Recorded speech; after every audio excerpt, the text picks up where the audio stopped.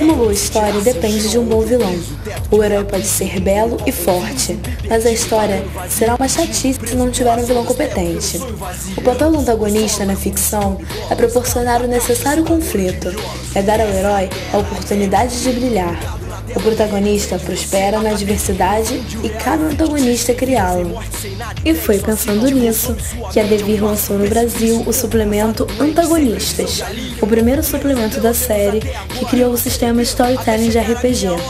O livro traz exatamente isso, uma descrição dos antagonistas e dos personagens naquele cenário. A maioria das pessoas ou monstros contidos nesse livro funcionará bem como vilão de curto ou longo prazo em uma crônica, mas eles também podem desempenhar papéis diferentes no jogo. Aquele que os personagens acharem inicialmente que era seu antagonista pode se revelar mais tarde um mero capanga do verdadeiro antagonista. De onde vêm os antagonistas? Qual é a sua relação com os protagonistas? Essas são algumas das questões propostas na introdução do livro Antagonistas, o que permite que o livro seja usado não só em jogos de RPG, mas também como enredo e inspiração para escritores, cineastas e entusiastas da ficção undead, de zumbis, mortos-vivos, almas penadas, vampiros, reencarnados, entre outros. Sobre este livro, é bom ressaltar que não se trata de um livro dos monstros, como em outros sistemas.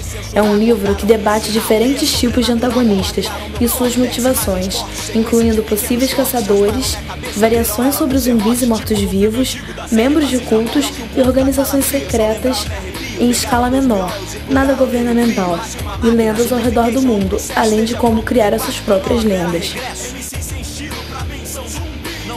O livro oferece características de mortos-vivos, caçadores de monstros, fanáticos religiosos, membros de organizações secretas e criaturas sobrenaturais interessantes, bem como ideias e sugestões para as histórias que podem e devem ser utilizadas em qualquer crônica ambientada no mundo das trevas.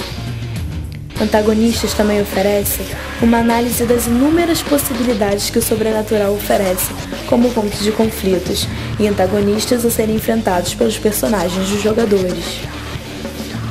Os antagonistas contidos no livro podem ser usados em quaisquer um dos jogos do mundo das trevas, seja lobisomem, vampiro ou mago, o que possibilita uma gama maior ainda de aventuras cabíveis em sua imaginação.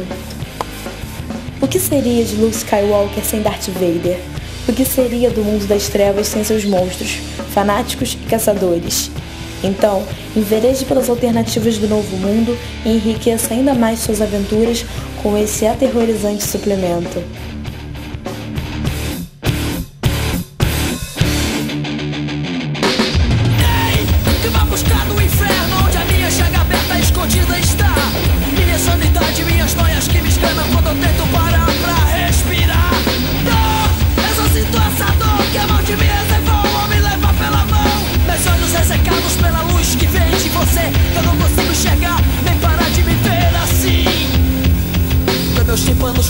saturados quando grita rio chora e me enrola com o seu sonário Não, a minha pele transparente hoje arde, não tem gelo, branco gelo, fosco feio Ruindo